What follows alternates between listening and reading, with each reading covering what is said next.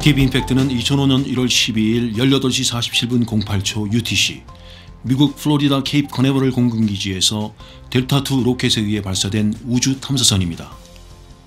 UTC Coordinated Universal Time은 1972년 1월 1일부터 시행된 세계 표준시를 말합니다. 그래서 국제적으로 시각을 나타낼 때에는 어디 시간으로 몇 시 몇 분이다 이렇게 하지 않고 몇 시 몇 분 UTC라고 합니다. UTC는 런던 시간을 기준하는 그리니치 평균 시의 공식 표현입니다. 딥 임팩트는 우주 생성의 비밀과 우주 탄생의 기원에 대한 실마리를 풀기 위해 나사가 추진한 우주 계획입니다. 딥 임팩트의 임무는 템펠 1 혜성의 내부 조성을 연구하기 위해 탐사선으로부터 충돌체를 발사시켜 혜성과 정면으로 충돌시키는 것입니다. 그리고 나서 나사는 충돌로 인해 생긴 혜성의 분해 물질을 분석하여 얻은 정보를 면밀히 연구합니다. 그래서 46억 년 전 태양계가 탄생할 당시에 존재했던 물질들의 성질과 그때 상황은 어땠는지에 대한 단서를 얻는 것이 딥 임팩트의 목표입니다. 딥 임팩트는 탐사선과 충돌기의 두 부분으로 구성되어 있습니다. 근접 비행선인 탐사선의 무게는 650kg이고 폭 1.7m, 높이 2.3m이며 길이는 3.2m 정도입니다. 그리고 임팩터, 즉 충돌기의 무게는 372kg이며 높이와 지름은 각각 1m이고 구리와 알루미늄 등으로 이루어진 원기둥골의 형태입니다. 지구는 해성 충돌의 위협으로부터 안전할 수 없습니다. 목성 등의 큰 행성의 중력에 의해서 해성들의 진로가 바뀌는 경우도 종종 발생하여 작은 소행성이나 해성들의 경우 정확한 추적이 불가능합니다. 설사 해성 등을 추적하는 것을 성공했다고 하더라도 그것을 파괴할 만한 무기 또는 다른 특별한 방법이 없습니다. 핵무기를 발사하여 파괴하는 방법도 있지만 해성 자체가 구멍이 많은 물질이어서 핵폭탄의 충격을 흡수할 가능성이 있습니다. 마치 항공기에 파리 한 마리가 충돌해봐야 별 의미가 없다는 것입니다. 또한 이론적으로는 해성에 착륙하여 수소폭탄을 장치해서 해성의 일부를 폭파시킬 수 있습니다. 마치 영화 아마겟돈처럼 궤도를 수정하여 1km 정도의 진로를 바꿀 수 있으나 어디까지나 그것은 이론에 불과합니다. 그렇게 하려면 시속 3만 킬로미터 이상으로 움직이는 해성의 방향과 나란히 진행하면서 착륙하는 기술이 필요한데 아직까지는 그러한 기술을 개발하지는 못했습니다. 해성에 대해 알아보겠습니다. 해성을 꼬리별이라고도 하며 태양계를 구성하는 천체이고 그 중에서 유성체, 해성, 그리고 성간물질 등은 SSSB (Small Solar System Bodies)로 분리됩니다. 해성은 태양에서 방출되는 전자기파, 즉 파장에 따라 가시광선, 적외선, 자외선, 엑선 등에 의해 핵으로부터 발생한 핵을 둘러싼 구름층인 코마와 독특하게도 천체이면서 꼬리를 가지고 있습니다. 해성의 핵은 대부분 얼음과 먼지로 구성되어 있고 그 크기는 수 킬로미터 또는 수십 킬로미터 정도입니다. 코마란 얼음과 먼지로 구성되어 있는 해성의 핵 주위를 둘러싼 성과 같은 덮개입니다.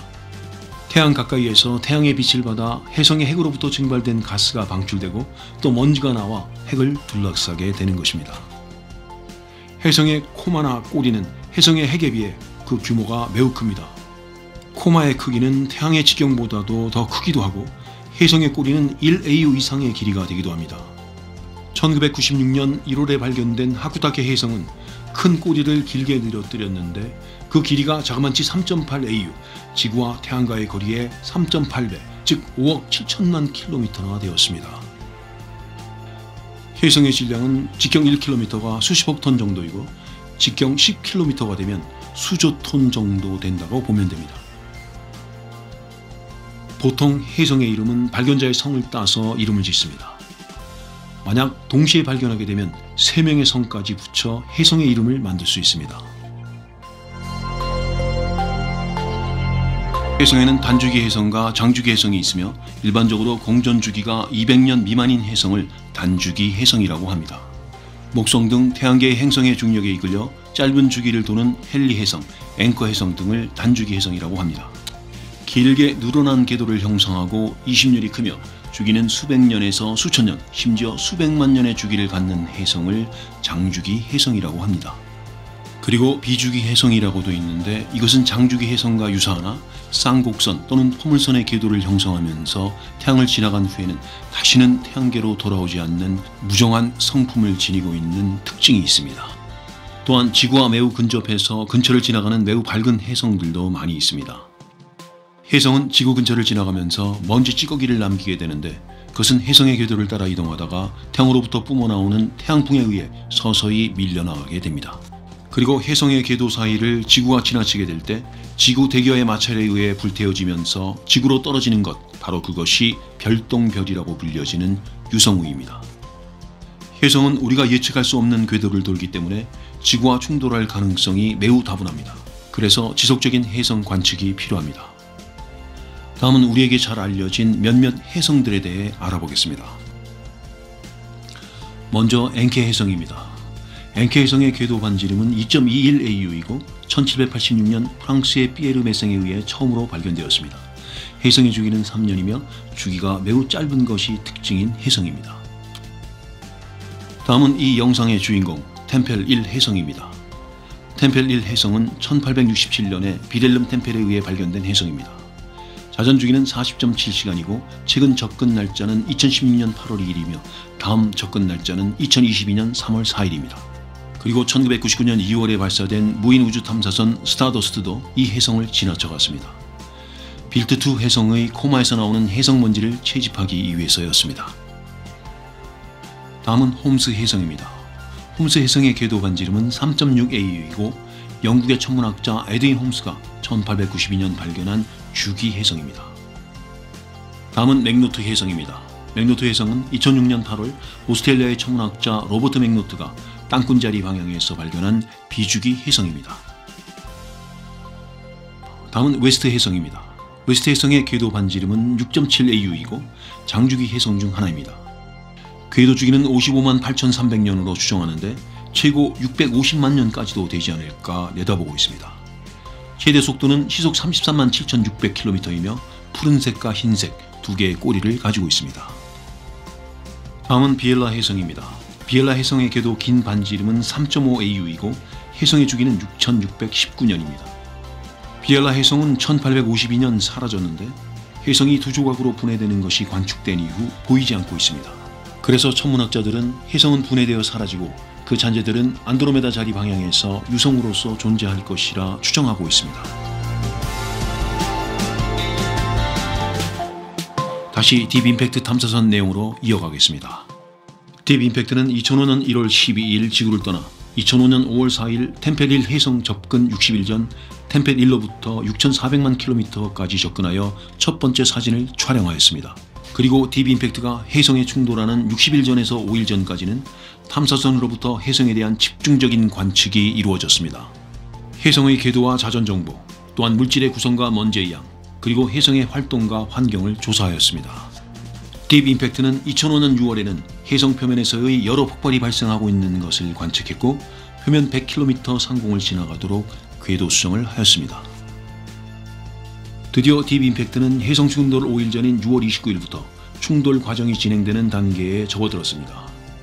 딥 임팩트는 초속 28.6km, 시속으로는 10만 3천 km의 속도로 4억 3천만 km를 날아 발사 174일 만인 2005년 7월 3일 충돌 목표인 템펠 1 해성에 마침내 도달하였습니다.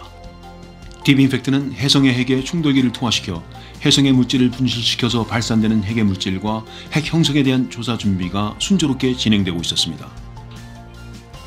372kg의 구리 탄환으로 된 충돌기는 7월 3일 오전 6시 UTC 딥 임팩트가 템펠 1 해성에 접근하였을 때 성공적으로 분리되었습니다. 충돌기가 분리된 후 2시간 후 딥 임팩트 탐사선은 첫 번째 사진을 촬영하였습니다. 임팩터는 탐사선으로부터 발사된 후 하루 만인 2005년 7월 4일 5시 52분 UTC 템펠 1 해성과 정면으로 충돌하였습니다. 초속 10.3km, 시속으로는 37,100km의 속도로 372kg 무게의 구리통 임팩터는 그대로 돌진하여 해성 표면에 충돌한 것이었습니다. 이때 발생한 파편과 가스가 섞인 불기둥은 수천 킬로미터까지 치솟아 올랐으며 예상보다 6배나 더 밝게 빛났습니다. 충돌기에 부착된 당구볼 만한 크기의 송수신기는 해성 충돌 3분 전까지 해성의 표면을 찍어 지구로 송신했습니다. 탐사선은 충돌 전 약 3초 전에 지구로 충돌 사진을 전송했으며 충돌 시각은 사전에 계산했던 값과 1초 이하의 차이를 보였습니다. 템펠 1호 해성의 충돌 시 위력은 TNT 4.5톤을 터뜨리는 것과 맞먹는 위력으로 넓이는 축구장, 깊이는 20층 건물 정도를 만들 정도였습니다.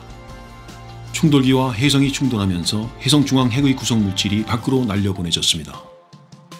충돌 이후 계속 13일 동안 해성에서는 약 20만 킬로그램의 먼지 구름이 흐트러져 나왔고 500만 킬로그램의 물이 섞여 뿜어졌습니다.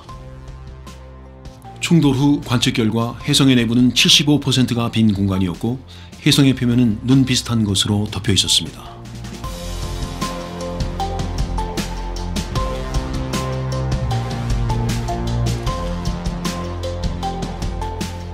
100억 킬로미터 이상 떨어져 있는 탐사선과 지구와 과연 어떻게 통신이 가능한 건지 나사의 DSN, Deep Space Network, 즉 심우주 통신망에 대해서 알아보겠습니다. DSN은 미국 항공우주국 제트 추진연구소에서 운영하는 통신 시설입니다. 미국의 캘리포니아, 호주의 캔버라, 스페인 마드리드에 지름 30 내지 70m의 거대한 안테나가 건설되었습니다. Deep Space Network는 태양계에서 임무를 수행하는 탐사선과의 교신과 우주로부터의 전파를 관측하는 데 활용하기 위하여 설치되었습니다. 이러한 네트워크 덕분에 태양계 어디에서든 지구와 통신이 가능한 것입니다. 보이저 2호는 발사된 지 거의 43년이 지났고 현재 지구로부터 180억 킬로미터 이상 떨어진 지점까지 도달해 있습니다. 그렇게나 멀리 떨어져 있음에도 불구하고 보이저 2호와 지구는 아직도 통신이 가능한 상태입니다. 이렇게 통신이 가능한 이유는 나사의 Deep Space Network가 마이크로웨이브라는 고주파, 즉 극초단파를 사용하기 때문입니다. 우리가 보고 있는 태양계의 다양한 사진들은 모두 Deep Space Network 덕분입니다. 장거리에서 통신을 가능하게 하기 위해서는 S밴드, X밴드, 그리고 Q밴드의 직진성이 강하고 상당한 고주파인 마이크로웨이브파를 사용해야 합니다.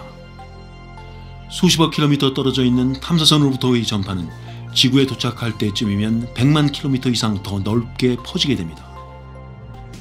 그래서 이 안테나에 잡히는 전파 에너지는 우리가 차고 다니는 손목시계가 필요로 하는 에너지의 달랑 200억 분의 1에 불과합니다. 이 약한 신호를 잡아내기 위해서는 절대 온도인 0켈빈, 즉 섭씨 영하 273.15도에 가까운 상태에서 작동하는 민감한 리시버가 신호를 잡도록 해야 합니다. DSN은 탐사선으로부터 보내온 매우 작은 디지털 신호들을 하나로 모아서 완성된 데이터 정보를 만들어줍니다. 또한 우주 공간 광학통신 FSO, Free Space Optical Communication 시스템 검증이 완료되면 지구에서의 통신 수준까지는 아니더라도 기가바이트급의 우주 통신이 실현되어 훨씬 나아진 고속 무선 통신이 가능해질 것입니다. 빛을 매개로 하는 광통신이므로 빛의 전진을 막는 방해물이 우주 공간에는 거의 없기 때문에 우주에서의 통신에 유리한 것입니다. 그리고 FSO 시스템에서 한 발 더 나아가 우주 정거장에 탑재되는 레이저 통신 릴레이 실증 시스템 LCRD Laser Communications Relay Demonstration이 실현되면 우주 통신은 더욱 발전할 것입니다.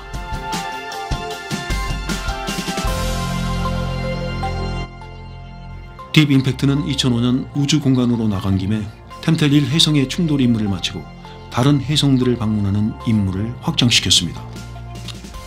나사는 2년을 더 계획하여 딥 임팩트를 하틀리 2 혜성 쪽으로 보내 그쪽 동네를 관측하기로 하였고 2010년 11월 4일 하틀리 2 혜성으로부터 사진을 지구로 전송했습니다. 또한 나사는 딥 임팩트를 2012년 2월 20일부터 48일 동안 태양으로부터 대략 2AU 떨어져 있는 게라드 혜성을 관측하게 했습니다. 그리고 2013년 2월부터 한 달 동안 아이손 해성을 관측하게 했습니다. 딥 임팩트는 마침내 8년 8개월 8일 동안의 임무를 마치고 2013년 9월 20일에 모든 임무를 종료시켰습니다. 앞으로도 해성의 관측은 계속될 것입니다.